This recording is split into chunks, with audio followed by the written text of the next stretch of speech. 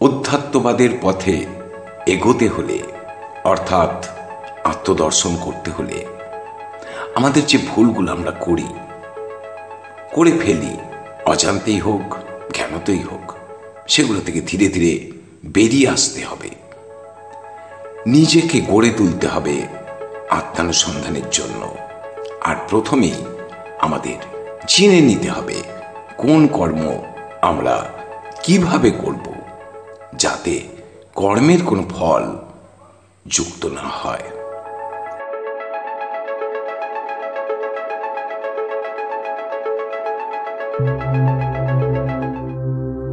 সংবাদ voice line spiritual আয়োজিত বিশেষ অনুষ্ঠান ইহলোক, পরলোক। অধ্যাত্মবাদের আলোকে বিজ্ঞান মনস্ক একটি অনুষ্ঠান ইহলোক পরলোক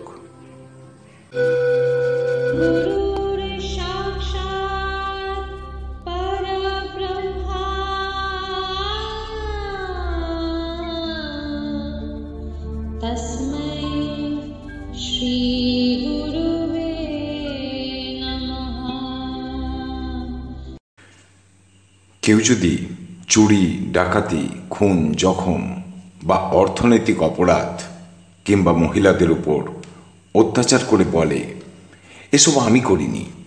ঈশ্বরই আমাকে দিয়ে করিয়েছেন। তাহলে কি পুলিশ তাকে গ্রেপ্তার করবে না? বা বিচারক আইন মোতাবেক তাকে শাস্তি দেবেন না? আমার শ্রী গুরুদেব, বিশিষ্ট অধ্যাত্মবাদী ও সাধক ডক্টর স্বামী প্রজ্ঞা দাস কাঠিয়া মহারাজ বলতেন, ধার্মিক হও। তা বলে বাস্তব জ্ঞান হারিও না। দেখুন, প্রত্যেক ক্রিয়ারই সমান ও বিপরীত প্রতিক্রিয়া আছে। কাজেই কর্ম করলে তার প্রতিক্রিয়া হবেই। আর মানুষকে তার কর্মের ফল ভোগ করতে হয়। সেই ফল ভালো বা খারাপ, যাই হোক না কেন। আর ঈশ্বর কারও পাপও গ্রহণ করেন না, কারও পুণ্যও গ্রহণ করেন না। বিচারক যখন খুনিকে সাজা দেন মৃত্যুদণ্ড, তখন সেই মৃত্যুদণ্ড দেওয়ার জন্য বিচারক কি কোনো কর্মে আবদ্ধ হন? কেননা দুজনেই কিন্তু মৃত্যুদণ্ড দিচ্ছেন। আজকের এই আলোচনায় আত্মদর্শনের পথে আমাদের ভুলগুলো কি কি? সেগুলো নিয়েই বলব। আসলে যতক্ষণ না আমরা নিজেদের এই ভুলগুলো সংশোধন করতে না পারি, ততক্ষণ আত্মদর্শন সম্ভব নয়। অর্থাৎ আমির খোঁজ নিতান্তই শূন্যে পর্যবসিত হয়। আমাদের কর্ম কীভাবে আত্মদর্শনে বাধা দেয় এবং সেই কর্মের বন্ধন থেকে আমরা কীভাবে মুক্তি পেতে পারি, তা নিয়েই আজকের আলোচনা। কারণ কর্ম শূন্য না হলে আর মনকে চিন্তা শূন্য না করতে পারলে আত্মদর্শন করা সম্ভব নয়। কর্ম সম্বন্ধে আমাদের সঠিক জ্ঞানের অভাব এবং মনকে চিন্তা শূন্য করার পদ্ধতি না জানার কারণে আমরা ব্যর্থ হই। আজ প্রথমেই আমি আলোচনা করছি কর্ম বলতে ঠিক কি বোঝায়। দেহ, মন, অনুভূতি ও বুদ্ধি দ্বারা যে কাজ করা হয় সেটাই কর্ম। এমনকি কোনো কর্মকে এড়িয়ে যাও সেটাও কর্ম। আর এই কর্ম বা কর্মা দু প্রকার ভলেন্টারি অর্থাৎ স্বেচ্ছায় যে কর্ম করা হয়, আর অন্যটি ইনভলেন্টারি অর্থাৎ অনিচ্ছার দ্বারা যে কর্ম সাধিত হয়। কিংবা ইচ্ছা করে যে কর্ম আমরা করি না। যেমন আপনি খাচ্ছেন, ছুটছেন, পড়ছেন, এগুলো সব ভলেন্টারি কর্ম। আর কারও ইচ্ছার বাইরে যে কর্ম সাধিত হয়, সেটা হলো ইনভলেন্টারি কর্ম। অর্থাৎ অনিচ্ছাকৃত কর্ম। যেমন হাঁটতে গিয়ে আপনি পিঁপড়েকে মেরে ফেললেন। এটা কিন্তু আপনার ইচ্ছাকৃত কর্ম নয়। কাজেই দেহ, মন, চৈতন্য পূর্ণ চেতন অবস্থায় অর্ধ চেতন অবস্থায় বা অচেতন অবস্থায় যে কর্ম সাধিত হয়, সেটাই কর্ম। আর আমরা নিজেরাই এই সমস্ত কর্মের কর্তা মনে করি। ফলে অজান্তেই বা জ্ঞানত এই সমস্ত কর্মের দায়িত্ব আমাদের উপরেই এসে পড়ে। বিচারক যখন খুনিকে মৃত্যুদণ্ড দেন, তখন দুজনেই, অর্থাৎ খুনি ও বিচারক, উভয়ই কোনো না কোনো মৃত্যুর জন্য দায়ী হন। কিন্তু বিচারক সেই দেশের আইন অনুসারে কর্তব্য জ্ঞানে তার দায়িত্ব পালন করেন। ফলে এটা তার কর্মাতে যোগ হয় না। একইভাবে, যিনি এই মৃত্যুদণ্ড কার্যকর করেন, অর্থাৎ ফাঁসুবে তিনিও কিন্তু এই কর্মের মধ্যে আবদ্ধ হন না। প্রশ্ন উঠতে পারে কেন?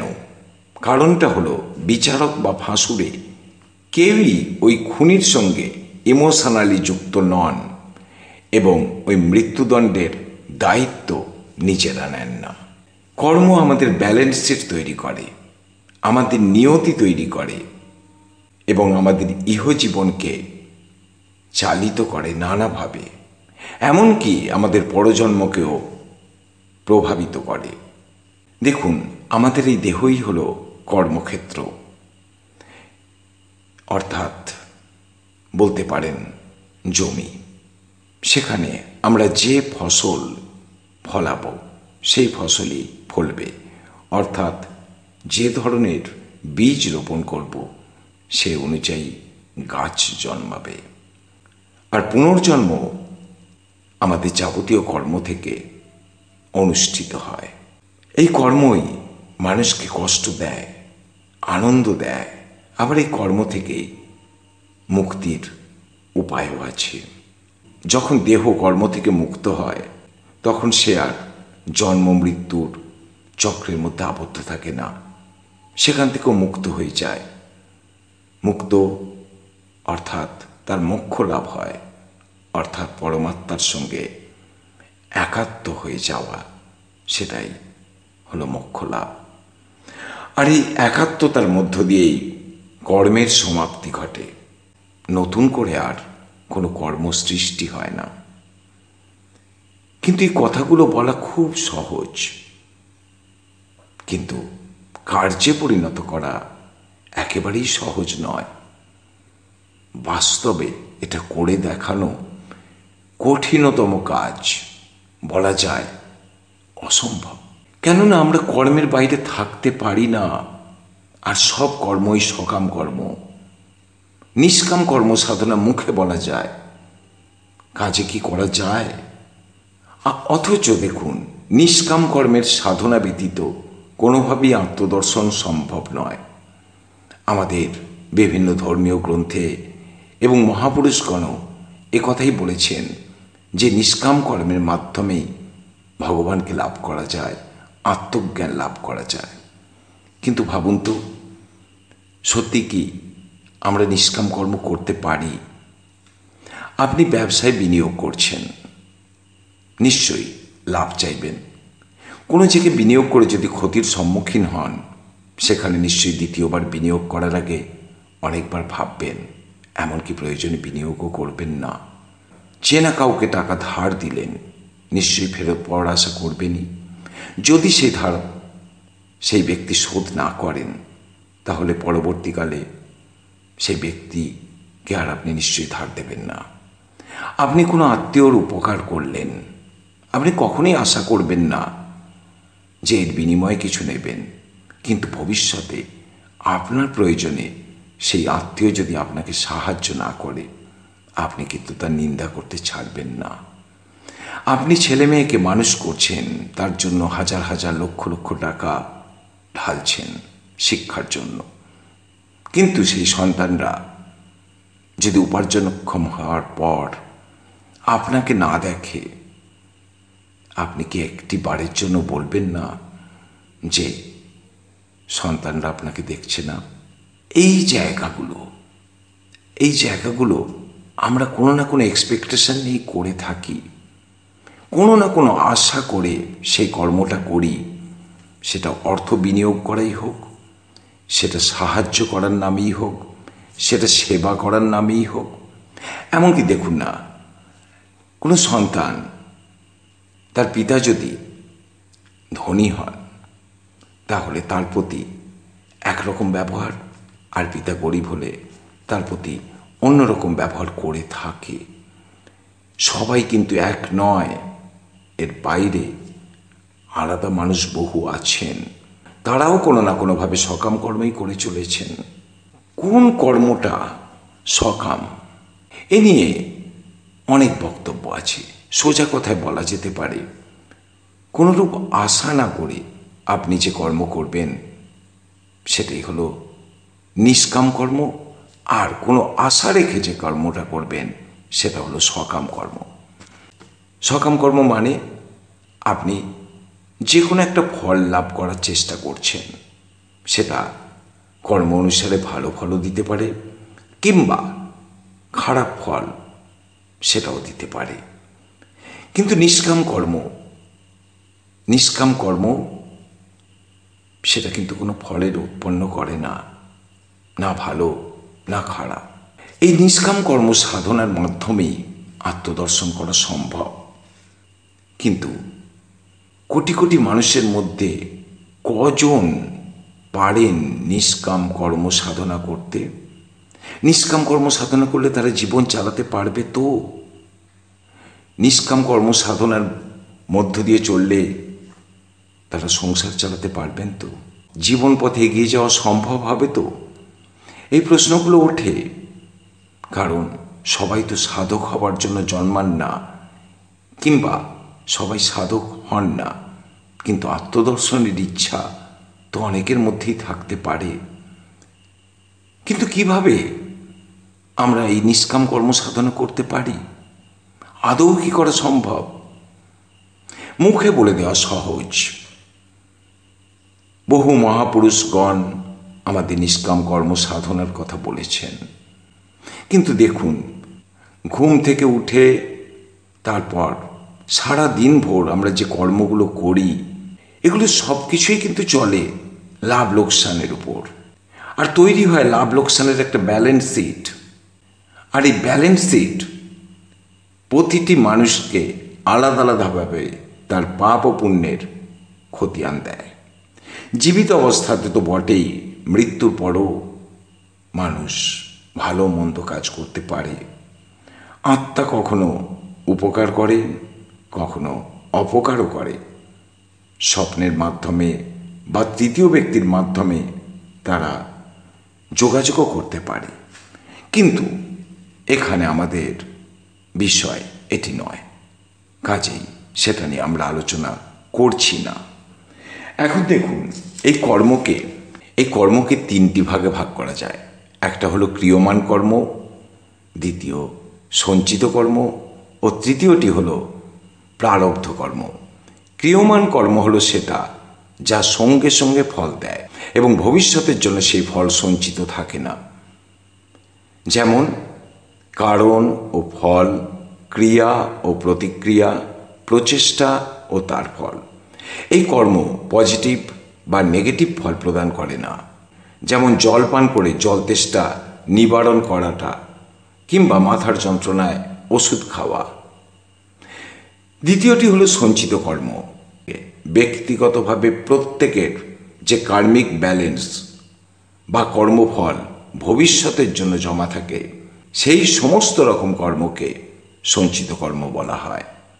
লাভ ও ক্ষতি, ভালো মন্দ, সব ধরনের ফল বয়ে চলে ভবিষ্যতের দিকে বা পরজন্মের দিকে। এই ব্যালেন্স শিট থেকে কোনোটাকে বাদ দেওয়া কিন্তু যায় না। ভালো মন্দ আর পাপ পুণ্যের কাটাকাটি করা সম্ভব হয় না। পাপের ফল ও পুণ্যের ফল আলাদাভাবেই বই নিয়ে যেতে হয়। ফলে মানুষের জীবন হয় সুখ, দুঃখের এক মিশ্রিত রূপ। পুণ্যের জন্য সুখ, পাপের জন্য দুঃখ। কিন্তু পাপ এবং পুণ্য কাটাকাটি করে অবিমিশ্রিত সুখ বা অবিমিশ্রিত দুঃখ পাওয়া সম্ভব নয়। দেখুন, অসুস্থতা, সম্পর্ক, সম্পর্কহীনতা ব্যবসায় লাভ, ক্ষতি ইত্যাদি হল সঞ্চিত কর্মের ফল। সম্পত্তি লাভ, সামাজিক মর্যাদা বৃদ্ধি, সাফল্য, এগুলো হলো পজিটিভ ব্যালেন্স আর এর উল্টোটা ঘটলে নেগেটিভ ব্যালেন্স। প্রারব্ধ কর্ম মানুষের জীবদ্দশায় যে কর্মের ফল ভোগ করতে হয়, সেটাই হলো প্রারব্ধ কর্ম। আবার, বেশিরভাগ মানুষ মনে করেন ভাগ্যের দোষী তার খারাপ হচ্ছে বা সৌভাগ্যের জন্যেই তার ভালো হচ্ছে। আবার কেউ মনে করেন সঠিক সময়ে উপযুক্ত শ্রম দিয়ে কর্ম করার জন্যই তার সাফল্য। আসলে কি জানেন, আজকের সৌভাগ্য বা দুর্ভাগ্য সবটাই হলো অতীতের প্রচেষ্টা কিংবা প্রচেষ্টার অভাব। বীজ যেমন বোনা হবে, ফসলও কিন্তু তেমনই হবে। অর্থবান মানুষ যদি তার অতিরিক্ত অর্থ অন্যদের উন্নতির জন্য ব্যয় করেন এবং সমাজকে উন্নত করার প্রচেষ্টা চালান, তাদের জীবনে কিন্তু শুভ ফল লাভ হয়। দেখবেন বড় বড় ব্যবসায়িক প্রতিষ্ঠান তাদের নানা ধরনের ব্যবসা দেশে এবং বিদেশে। কিন্তু তা সত্ত্বেও তারা নানা ধরনের সমাজসেবামূলক কাজে অর্থ বিনিয়োগ করে। এটা হলো একটা ব্যালেন্স তৈরি। সাধারণ মানুষ, সমাজ যদি কারও না কারও দ্বারা উপকৃত হয় এবং এই উপকারের বিনিময়ে সেই ব্যক্তি বা সেই সংস্থা যদি কিছু দাবি না করে, তাহলে কিন্তু সেই সংস্থার উন্নতি লাভ অবশ্যম্ভাবী। প্রশ্ন হচ্ছে, কীভাবে কর্ম থেকে মুক্তি লাভ করবেন? প্রাচীন যুগের বহু গ্রন্থ প্রণেতা বলতেন, আমরা যদি আমাদের ক্রিয়মান কর্মকে ছেড়ে ফেলে দিতে পারি ও নতুনভাবে ক্রিয়মান কর্ম না করি তাহলে কর্মের চক্র তথা সংসার বন্ধন বা জন্ম মৃত্যুর চক্র থেকে চিরকালের জন্য বেরিয়ে যেতে পারি। আসলে কথাগুলো শুনলে মনে হবে বেশ সহজ। আদৌ কিন্তু সহজ নয়, বরং এত কঠিন প্রায় অসম্ভব বললেই চলে। কর্মকে জিরো ব্যালেন্স করাটা একেবারেই অসম্ভব। মহাপুরুষরা বলে গেছেন, জ্ঞানের দ্বারা সঞ্চিত কর্মকে ধ্বংস করা সম্ভব। অর্থাৎ নিজেকে আলাদা না ভেবে পরমাত্মার সঙ্গে এক ভাব। অর্থাৎ ভাবতে হবে I am that and I am a part of the whole কিন্তু বিষয়টা বুঝতে পারা এক জিনিস আর বাস্তবে তা করা অন্য জিনিস। কেন বলছি জানেন? অনেকে বলেন যে আমরা কোনো কাজ করি না, ঈশ্বরই আমাদের দিয়ে করিয়ে নেন। মানছি।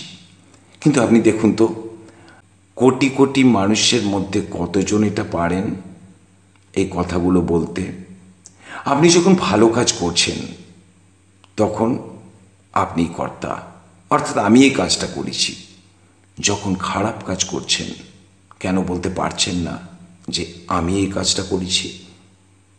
আপনাকে তো দুটো ক্ষেত্রেই বলতে হবে। খারাপ কাজ করলেও দায়িত্ব নিতে হবে, আর ভালো কাজ করলেও দায়িত্ব নিতে হবে।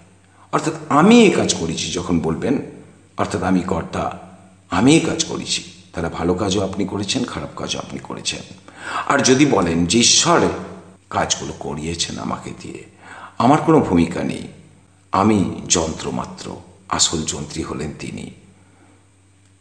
তাহলে সমস্ত ভালো কাজে জন্য নিজেকে বাহবা দেওয়া যাবে না। সমস্ত ভালো কাজ আপনি করেননি। ঈশ্বর করেছেন। আপনি মাধ্যম মাত্র।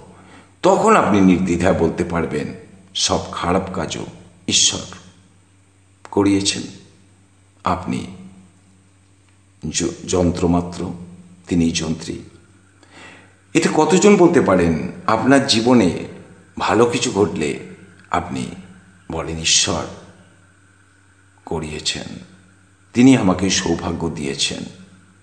আবার আপনার জীবনে খারাপ কিছু ঘটলে কি বলেন? ঈশ্বর এটাও করিয়েছে। তাহলে আপনি ঠিক আছেন। কিন্তু যখন আপনার সংসারে ভালো কিছু ঘটে, তখন আপনি যদি ভেবে নেন আপনার জন্যই এটা ঘটেছে, আর খারাপ কিছু ঘটলে যদি বলেন এটা ঈশ্বরের জন্যই ঘটেছে, তাহলে কি হয়? দেখুন, আমরা মুখে বলি ঈশ্বর যা করেন মঙ্গলের জন্য। কিন্তু আমার পরিবারের আচমকায় হঠাৎ কোনো মানুষ চলে গেলে আমরা বলতে পারব তো যে ঈশ্বর এই কাজটা করেছেন, ভালোর জন্যই করেছেন। যদি না পারি, তাহলে আমরা কখনোই একাত্ম হতে পারব না তার সঙ্গে। কখনোই আমি, আমরা ভাবতে পারব না I am that R I am a part of the whole আমি নিজেকে যদি মনে করি তার একটা অংশ। আমি নিজেকে যদি মনে করি আমি যন্ত্র মাত্র আর তিনিই যন্ত্রী, তিনিই হোল, অর্থাৎ সমস্তটা, তাহলে কিন্তু নিজেকে সেইভাবেই চালাতে হবে। যদি না পারি, যদি এক কণাও ভুল হয়, তাহলে থাকছে না। অর্থাৎ সে শর্তটা রক্ষিত হচ্ছে না, লঙ্ঘিত হচ্ছে। আসলে এই আমিত্ব থেকে বেরিয়ে আসা খুব কঠিন। বেরিয়ে আসা যায় না। আপনি যদি আত্মদর্শনের কথা ভাবেন, সেক্ষেত্রে আপনার আমি, অর্থাৎ দেহ আমি প্রবল। জ্ঞানের জন্য। জ্ঞানের সন্ধানে ছুটছেন, তাও দেহ আমিকে নিয়ে। সাধনার জন্য ছুটছেন, সেও দেহ আমিকে নিয়ে। আমিকে বাদ দিয়ে কিছু করতে পারছেন না, অর্থাৎ দেহ আমিকে বাদ দিয়ে কিছু করতে পারছেন না, তাহলে সেই আমিকে কীভাবে খুঁজবেন? কার দ্বারা খুঁজবেন? মনের দ্বারা, বুদ্ধির দ্বারা, দেহ আমির দ্বারা? দেহ আমি একটা অহংকার, এটা আপনারা সবাই বুঝে গেছেন, কিন্তু সেই অহংকারকে কি ত্যাগ করা সম্ভব? সম্ভব নয়। দেখুন, আপনি যদি মনে করেন যে আমি কিছু করছি না, তাহলে নিজের কর্মের দায় নিজে নেবেন না। যা কিছু ঘটছে তার দায়িত্ব নিজের কাঁধে চাপিয়ে নেবেন না। ভাববেন, আমি সব কর্মের ঊর্ধ্বে, আমি সাক্ষী মাত্র। কোনো কাজেরই কর্তা নই। যা ঘটছে, তা ঘটার ছিল বলেই ঘটছে। আমার কাজ শুধু দেখে যাওয়া। কিন্তু একজন ব্যক্তি কীভাবে তার নিজের দেহ, নিজের পরিচয়, নিজের ব্যক্তিত্ব থেকে আলাদা হবে না হতে পারবে? বহু আধ্যাত্মিক শিক্ষায় দেখবেন শুনতে খুব সোজা, বোঝা একটু কঠিন, কিন্তু বাস্তবে পরিণত করা কঠিনতম কিংবা অসম্ভব। কাজেই একটা রাস্তা একটা রাস্তা আছে। রাস্তাটা হলো আমিকে বর্জন করা, কর্তা না সাজা। আর যদি কর্তা না সাজেন, তাহলে অন্তত একটু উঁচু স্তরে পৌঁছতে পারবেন। দেখুন, আমি এই বোধটা, অর্থাৎ দেহ বোধটা আমাদিকে আত্মানুসন্ধানের পথে এগোতে দেবে না। এগোতে পারবেন। কীভাবে জানেন? কর্তব্য জ্ঞানে কর্ম করুন। সন্তানকে মানুষ করা আপনার কর্তব্য। সন্তান আপনাকে ভবিষ্যতে দেখল কি দেখল না তা নিয়ে আপনার মনের মধ্যে কোনো এক্সপেকটেশন বা ক্ষোভ কোনোটাই থাকবে না। ব্যবসায়, যদি মনে করেন ব্যবসা করবেন, ব্যবসায় লাভ এবং লোকসান থাকবেই। দুটোকে সমানভাবে মেনে নিন। ব্যবসা করতে হয়, সংসার নির্বাহ করার জন্য এই গায়নে ব্যবসা করুন। আত্মীয়দের যদি সাহায্য করেন তাহলে কর্তব্যজ্ঞানী সাহায্য করুন। তাদের কাছ থেকে ফেরত পান বা না পান। তাদের কাছ থেকে সাহায্য পান বা না পান। কোনো বন্ধুকে যদি সাহায্য করেন, তাহলে কর্তব্যজ্ঞানী করুন। অর্থাৎ সমস্ত কাজ যদি আপনি কর্তব্য জ্ঞানে করেন, তাহলে দেখবেন আপনি আর কর্মে আবদ্ধ হচ্ছেন না। ঠিক যে ক্ষেত্রে বিচারকের কথা বলছিলাম, যিনি মৃত্যুদণ্ড দিলেও তিনি কিন্তু কোনো কর্মে আবদ্ধ হচ্ছেন না। অথচ হত্যাকারী কিন্তু কর্মে আবদ্ধ হয়েছে এবং তার জন্যই সে মৃত্যুদণ্ড পেয়েছে। কাজে কর্তব্য জ্ঞানে কর্ম করাটা কিন্তু খুব জরুরি। আর কর্ম করলে তার জন্য কোনো এক্সপেকটেশন বা আশা রাখবেন না। আশা রেখে কর্ম করাটাই কিন্তু সকাম কর্ম। অনেকে প্রশ্ন করেন, আমি চাকরি করছি, তার মানে আমি বেতনের আশা করব না? নিশ্চয়ই। চাকরি করছেন তো বেতন পাওয়ার জন্যে আপনি তো সংসার নির্বাহ করার জন্য চাকরি করছেন। সংসার চালানোর জন্য, অর্থাৎ কর্তব্য করার জন্য, সাংসারিক কর্তব্য করার জন্য চাকরি করছেন, সাংসারিক কর্তব্য করার জন্য ব্যবসা করছেন। কিন্তু আপনি যদি মানুষকে ঠকিয়ে বা চাকরি করতে গিয়ে সেখানে ফাঁকি দিয়ে বা অন্যায়ভাবে অর্থ সংগ্রহ করে সংসার নির্বাহ করার চেষ্টা করেন বা বিলাসিতা করার চেষ্টা করেন তাহলে সেটা কিন্তু কর্তব্যজ্ঞানে কর্ম নয়। সেই কর্মের ফল কিন্তু যুক্ত হবে। এ জন্মে হোক কিংবা পরজন্মে হোক সেই ফল আপনাকে লাভ করতে হবে। মনে করে দেখুন, দস্যু রত্নাকর বহু পথিককে হত্যা করেছিলেন, কিন্তু তার কোনো শাস্তি হয়নি। তিনি মহামুনি মহারিষি বাল্মীকি হয়েছিলেন, রামায়ণ রচনা করেছিলেন। সমস্ত হত্যাই করেছিলেন সংসার নির্বাহ করার জন্য, বৃদ্ধ পিতার জন্য, পত্নীর জন্য, পুত্রের জন্য, সংসারের জন্য। এবং কখনোই তিনি মনে স্থান দেননি, এগুলো তার পাপ হচ্ছে। কর্তব্য জ্ঞানে কর্ম করতে পারলে একজন গৃহী মানুষও কিন্তু কর্ম থেকে বেরিয়ে আসতে পারেন। আর নিষ্কাম কর্মের যে সাধনা, সেটা একটা অভ্যাস। ধীরে ধীরেও এই অভ্যাসকে গড়ে তুলতে হয়। অধ্যাত্মবাদ একদিনের বিষয় নয়। অধ্যাত্মবাদে কোনো ছুটি নেই। প্রতিটি দিন, প্রতিটি মুহূর্ত অভ্যাস, এক নতুন ধরনের জীবন, এক ভালো জীবনকে আয়ত্ত করার জন্য। কর্মফল যাতে পেতে না হয়, সেটা ভালোই হোক কিংবা মন্দই হোক, সেজন্য আমরা সমস্ত কর্মই করব কর্তব্য জ্ঞানে ঈশ্বরের সেবা বলে প্রতিটি কর্মকে যদি আমরা করতে পারি, তবেই আমরা কর্মের হাত থেকে মুক্তি পেতে পারি। আমাদের পরের আলোচনা থাকবে, কীভাবে আমরা পেতে পারি চিন্তাশূন্য একটা মন, যার মাধ্যমে আমরা এগোতে পারব আত্মদর্শনের পথে। আজ এই পর্যন্তই। সংবাদ ভয়েস নাইন স্পিরিচুয়ালের পক্ষ থেকে সমস্ত দর্শককে জানাই আমাদের আন্তরিক শুভেচ্ছা ও ভালোবাসা। তাদের প্রতিটি মুহূর্তের সহযোগিতা, নিষ্কাম সাহায্য আমাদের এগিয়ে চলতে সাহায্য করছে। আমরা সমস্ত দর্শকের কাছে কৃতজ্ঞ। ভালো থাকুন আনন্দে থাকুন। আবার দেখা হবে পরবর্তী ভিডিওতে।